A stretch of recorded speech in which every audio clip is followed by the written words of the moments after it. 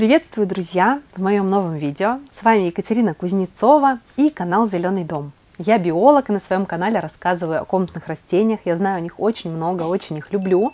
И с радостью делюсь этой информацией с вами.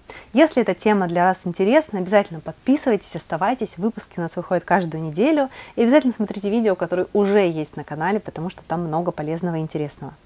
Сегодня я решила провести для вас небольшую экскурсию по третьему этажу нашего дома, рассказать о, о своих любимых растениях в моей коллекции и кратенько о том, как я за ними ухаживаю и какие условия для них подходят. Надеюсь, будет интересно. Сейчас мы с вами находимся в нашей спальне с мужем. Вы примерно видите то, что я вижу, когда просыпаюсь каждое утро. Здесь у нас очень зелено, и я этого очень хотела, чтобы было максимально зеленое пространство. У нас даже задняя стена разрисована акварельными листочками и цветочками. Здесь на переднем плане в вашем кадре стоит стеллаж, который делал мой муж для того, чтобы разместить максимальное количество цветов. И тут у меня стоят теневыносливые, неприхотливые растения, потому что прямой солнечный свет на них попадает достаточно мало.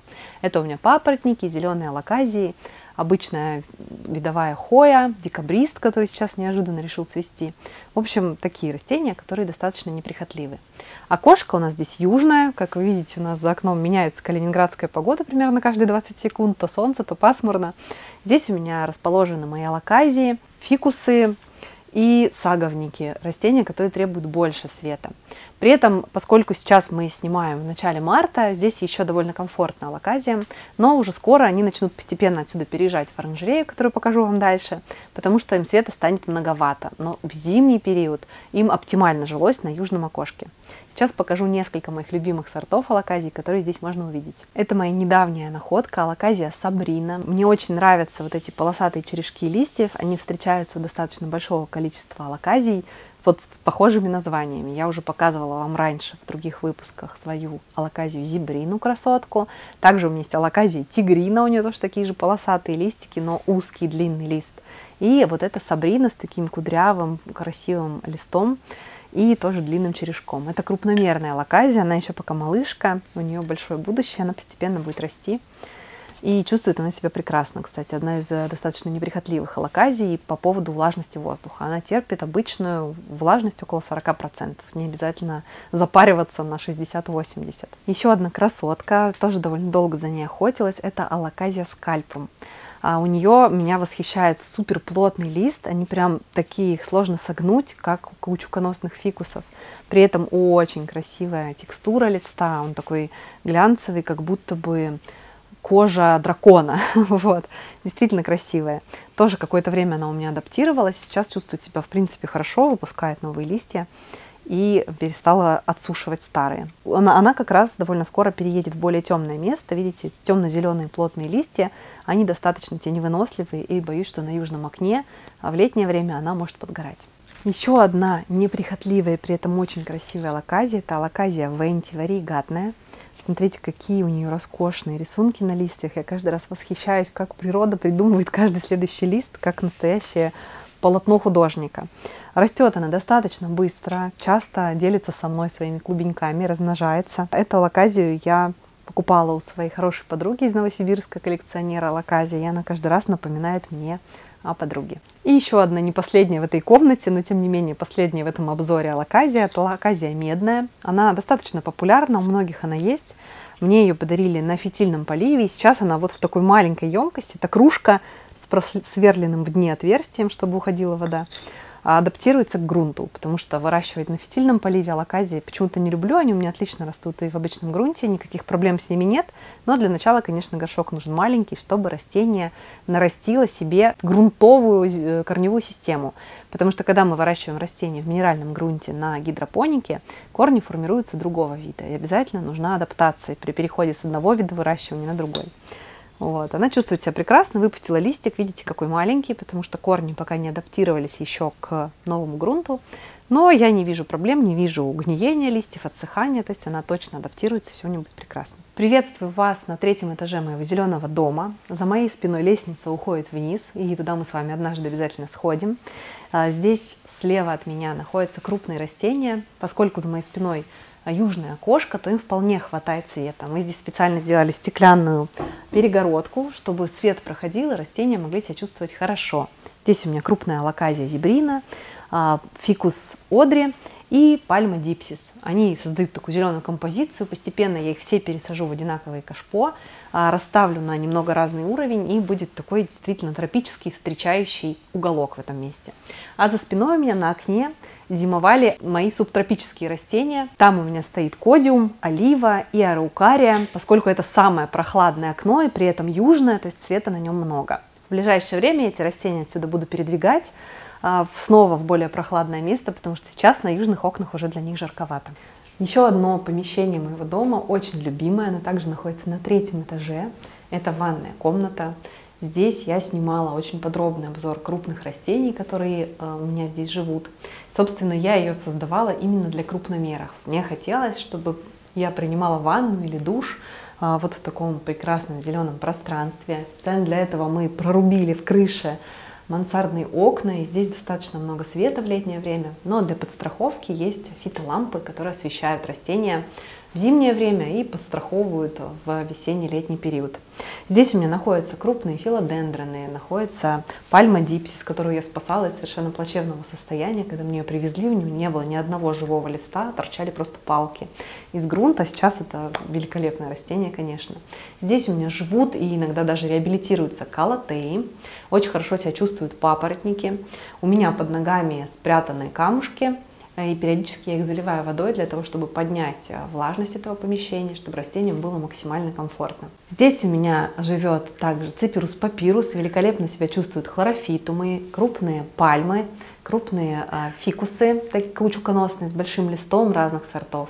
Здесь живет алаказия портодора, листья, которые достигают полуметра, и, конечно, стрелиция, тоже вполне сюда вписывается, хотя это и не тропическое растение, а уже субтропическое.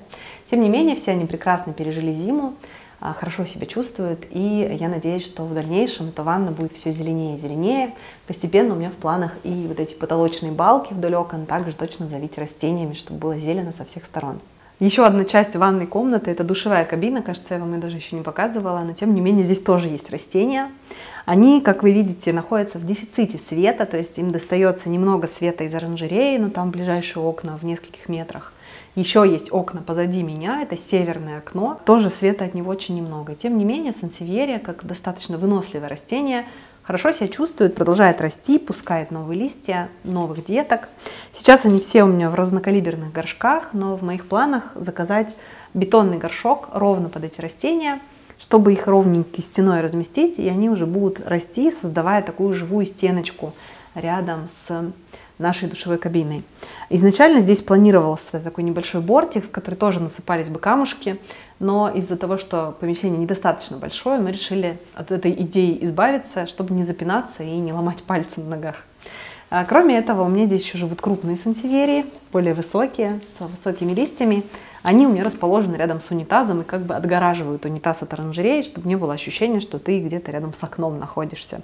Такую приватность и интимность создают. У них тоже маловато света, но они чувствуют себя хорошо. Главное с сантивериями не слишком мобильно их поливать, если у вас мало света в помещении. То есть им обязательно требуется хорошая просушка грунта между поливами. Это суккулентные растения.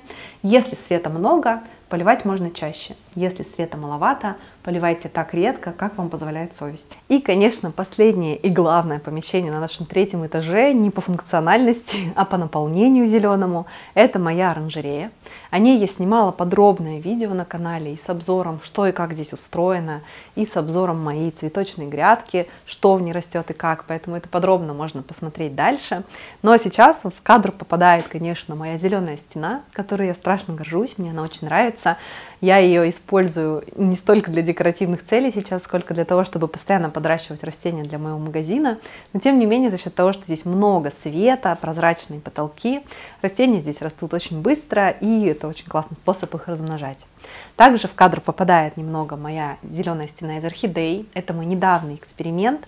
Я подращивала орхидеи а, в сфагнуме, тоже об этом рассказывала довольно подробно в одном из своих reels. Надеюсь, что вам было полезно и интересно. Это сейчас уже она зацветает. Вот такие красоточки здесь постепенно распускаются. И скоро, надеюсь, она начнет цвести постоянно и пышно, и это будет очень красиво. Пока экспериментирую. Еще именно здесь живут мои любимцы, Растения необычные, растения яркие и заметные. Вот это, например, хрустальный антуриум. Сейчас мало кого им удивишь, но пару лет назад я вообще ничего не знала о том, что антуриумы, а это мужское счастье, бывают такими специфичными. Очень люблю вот эти роскошные листья. Каждый новый лист получается крупнее предыдущего, и, конечно, это большое удовольствие за ними наблюдать. Кстати, этот антуриум тоже цветет, но совершенно не так, как его декоративно цветущие собратья, которых выращивают как раз ради цветов. Цветы здесь невзрачные, чаще всего я их убираю, чтобы они не тянули силу у растения, потому что основная красота, конечно, в листьях. Еще у меня именно здесь расположена большая часть моей коллекции алаказий. Это, например, алаказия Фрайды кваригатная, вот такая вот роскошная красотка. Каждый лист настоящее произведение искусства. Э, им здесь очень нравится за счет высоченной влажности, около 80%, за счет э, яркого рассеянного света. Прямые солнечные лучи сюда попадают только утром, где-то до 12, в зимнее время вообще не попадают. И алаказии круглый год без дополнительного освещения хорошо себя здесь чувствуют. А вот как раз алаказия Фрайдек у меня рисует новый листик. Она мне уже подарила пару деток, они уже сейчас прорастают в сфагнуме. Я очень жду, потому что это достаточно дорогой вид алаказии. Надеюсь, он меня озолотит. Еще одно интересное растение, которое можно у меня здесь найти в моих джунглях, это колоказия. У нее листочек немного иначе устроен, чем алаказии, но они очень близкие родственники, их очень трудно иногда различить. Моя колоказия привезена из Таиланда. Честно сказать, я ее просто выдернула из э, э, флорариума или аквариума, в котором она росла. То есть она росла прямо в воде, а, там плавали рыбки, и росло несколько колоказий, я маленькую детку себе выпалала. И вот она у меня потихоньку адаптируется, первое время вообще отсушивала листья, а сейчас уже держит два полноценных листа, и вот-вот будет третий. Такая симпатичная шахматная красавица. Еще одно необычное растение, многие наверняка увидят его впервые, это хоя меридити. А, для большинства хои это вот восковой плющ с зелеными плотными листочками, который растет у бабушек. Но хой очень большое разнообразие. У меня, наверное, около 10-15 сортов разных хой сейчас находятся в оранжерее повсюду. Но вот это мой фаворит. У нее огромные листья, очень плотные, очень красивые по своему узору. И, кстати, она достаточно неприхотливая. Видите, ей нужен небольшой горшочек, умеренный полив, как и всем хоям. Грунт должен хорошо просыхать. И вот она мне рисует новую веточку и уже несколько раз цвела. Цветет она желтыми кисточками цветов, и это тоже очень красиво. И еще я большой фанат Монстер. Вообще, как вы понимаете, ароидная – это моя слабость. А вот такие вот всякие разные, необычные, с необычными листьями монстеры у меня здесь тоже в большом разнообразии. Я думаю, что у меня около 15-20 сортов разных монстер. Большая часть из них растет в грядке с другими тропическими растениями, но часть вот так вот радует меня в горшках. Это конкретно Монстера Дансона, но вид у нее, видите, такой своеобразный, такие изогнутые кривые листики, они варигатные, пестрые. Я периодически ее тоже черенкую на продажу для тех, кто так же, как и я, собирает разные виды монстеры. Кроме монстер у меня есть еще необычные эпипремнумы. А многие знают эпипремнум как обычную вот такую вот лиану с желтыми, зелеными листьями. Также многие выращивают их дома. А у меня есть всякие разные сортовые. Это, например, эпипремнум пинатум white – он, как монстера, умеет вот таким образом резать листья, то есть делать их резными и даже образовывать внутреннюю перфорацию. Даже на листьях без тотема такие вот маленькие дырочки образуются. И вот это у нас эпипремнум фишбоун, кто-то его определяет как монстеру, кто-то как эпипремнум, но вот такой вот у него необычный лист, пестрый, он у меня только-только то ронулся в рост. Ждала лета, чтобы он начал распускать листья, потому что света им нужно побольше. Что ж, надеюсь, вам было интересно вместе со мной прогуляться по третьему этажу моего дома, познакомиться немного с коллекцией моих растений, посмотреть, как они расположены в интерьере. У меня за спиной зеленая грядка, про нее, как и говорила, есть отдельное видео. Обязательно посмотрите, если вам интересно, оставлю вам здесь отметку. Увидимся в следующих видео. Оставайтесь с нами, обязательно подписывайтесь. Видео у нас выходит каждую неделю, и всегда что-нибудь новое и интересное можно найти на моем канале. С вами была Екатерина Кузнецова и канал «Зеленый дом».